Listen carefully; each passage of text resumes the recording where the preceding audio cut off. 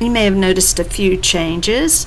I had a creative moment with the new intro. I like to dabble in graphic design, and you'll notice I added music to the videos. And hopefully, the video is of a better quality. And I know I can't please everyone, but I still have lots of fun sewing projects for you. All this has occurred because you see it, my iPad died. It was a sad day. Had to dust off my camera and start using that once again.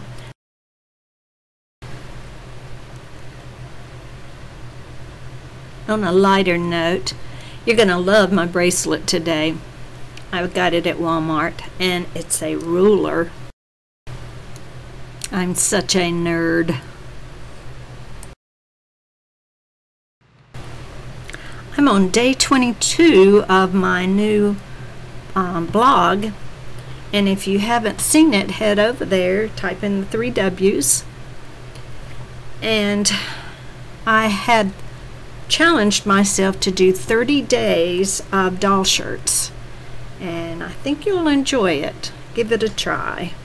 And that's where you can make comments um, letting me know what you'd like to see next or um, just various things.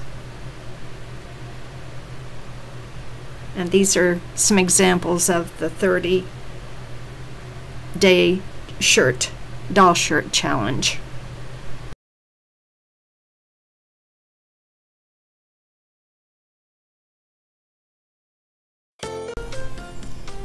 For this project, you will need a recycled shirt and a roll of tulle with gold leaves from the Dollar Tree.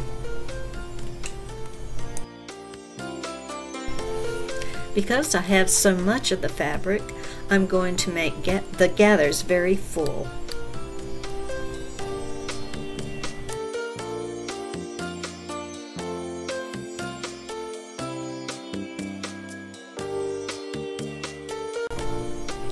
It was a delightful surprise to find that the back of the fabric was silver leaves. To make the waistband, you wrap the tulle around your doll and cut the amount that you need. And then you cut that strip of fabric in half. You'll use one part of it for the waistband and you'll use the other part of it for the strip of fabric that you put around the hemline.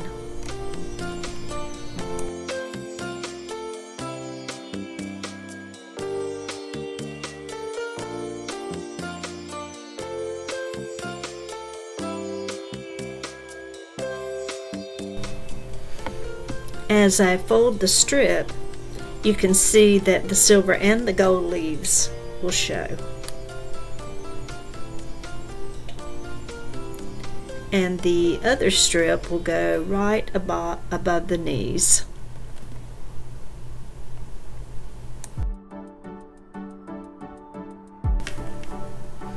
I'm using the sleeveless pattern from my pattern bundle that I sell on Etsy. So first you fold the fabric and then cut out the bodice. I like a longer bodice, so I'm going to cut out about an inch longer than my pattern shows.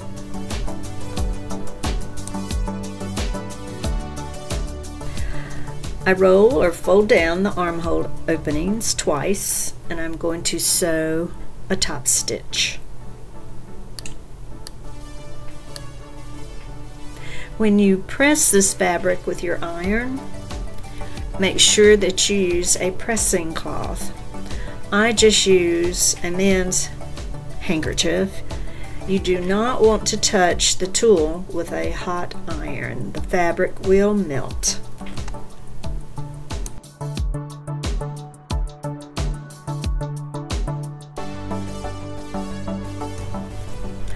I'm not going to do anything to the neckline yet. I may have to bind or line it later.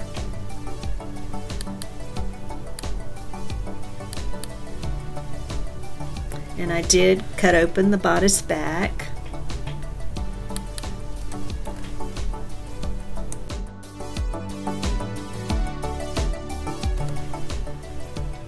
I am now sewing about 1 4th inch from the folded edge of the waistband just to keep the fabric together when I do the next step.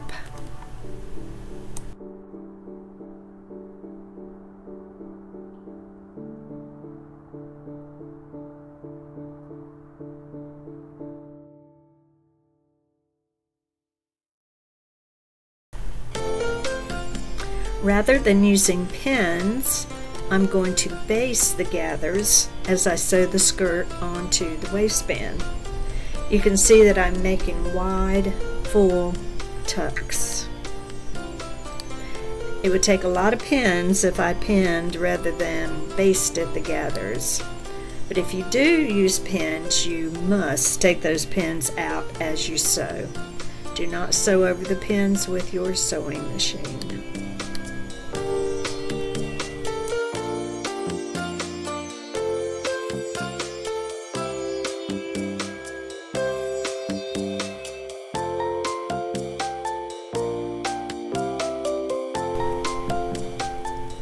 Sew right sides together and when you open it, it will be a finished edge.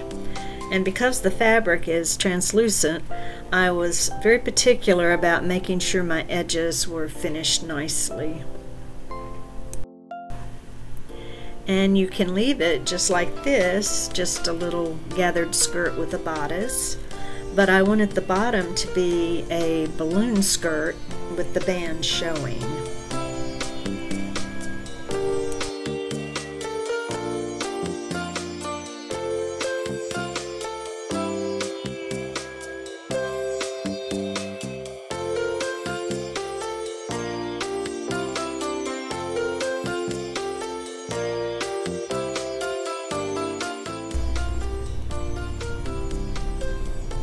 Next, I top stitch the bodice onto the waistband.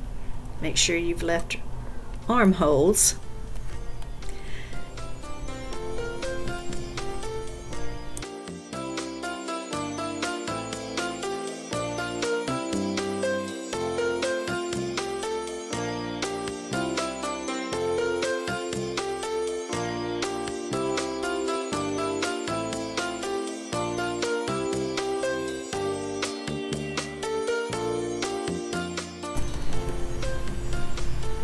Now all you have left is to make a simple little tube that she can wear underneath the translucent fabric.